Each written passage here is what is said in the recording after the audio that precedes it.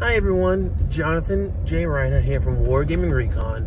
Um, I thought I would record this video uh, because there's been a lot of responses and reactions and questions and comments to an update I put on social media earlier this week.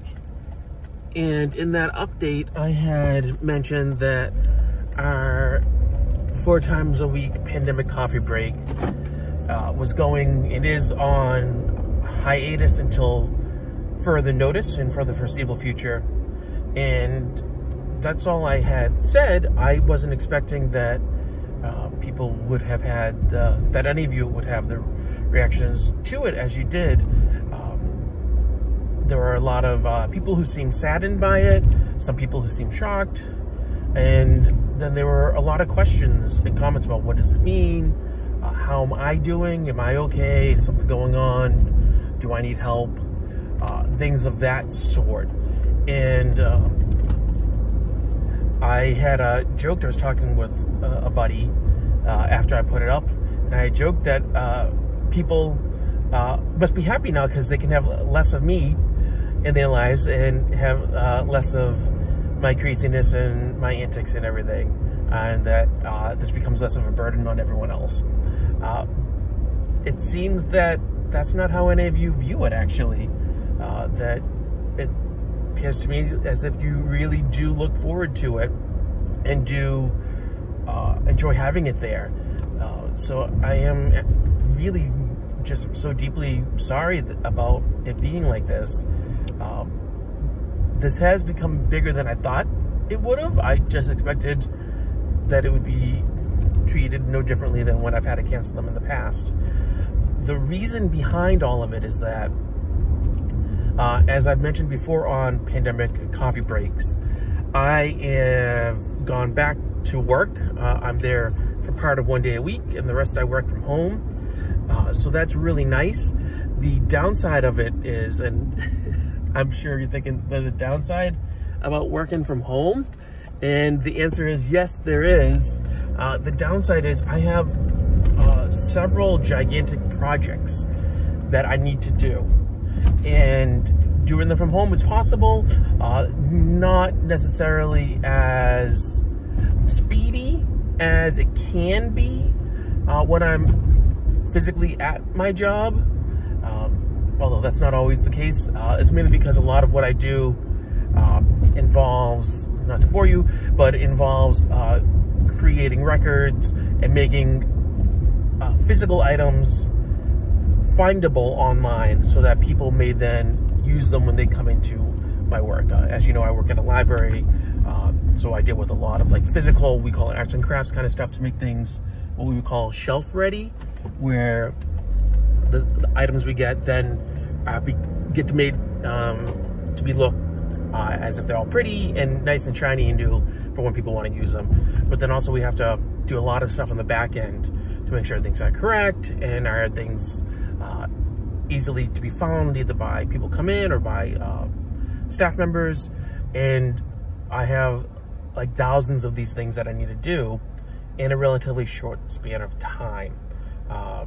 By the end of the month, I believe. And uh, the reason for that is, I believe, uh, it's not definite, but I believe as of July, we will be open to the public at some point, And I believe that means then I will therefore be back in the building full time. Uh, now, things can change all the time because pandemic, right?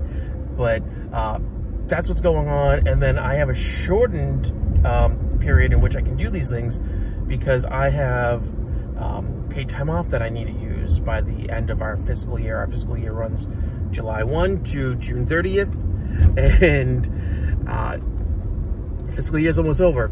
so I do have some time I need to use, and I've taken some um, so that I can have a nice extra long Father's Day weekend coming up. Uh, so that really shortens it. But then I also have like two and a half, three days more I still have to use.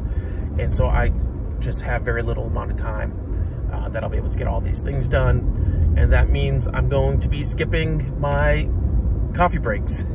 and so I won't be able to do uh, pandemic coffee breaks during this time period.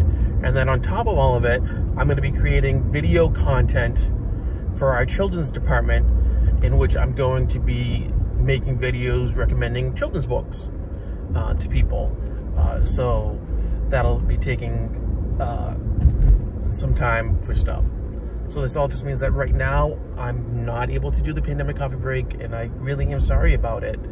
I hope to be able to resume it afterwards if I have any days that I am working from home uh, and we'll see how that goes. Um, if that ends up not being the case, then I will unfortunately have to go ahead and finally end the pandemic coffee break uh, for well until I can never or if I can never resume it again.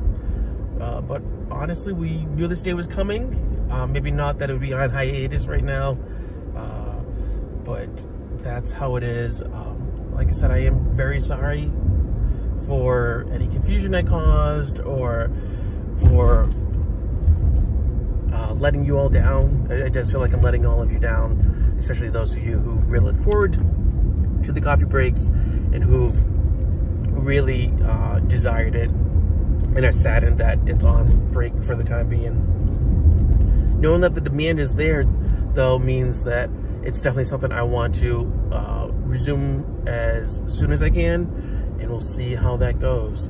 Uh, so thank you for your patience. Thank you for watching this video. It's long now, it's almost seven minutes.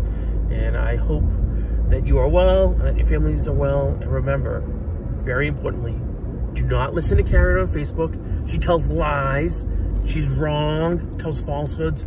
Tell her go do some color puncture. And good enough is good. We will get through this. I promise you, we will.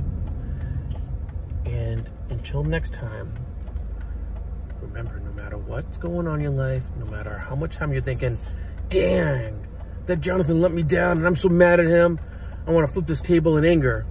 You know that you gotta you need to, you have to keep on gaming.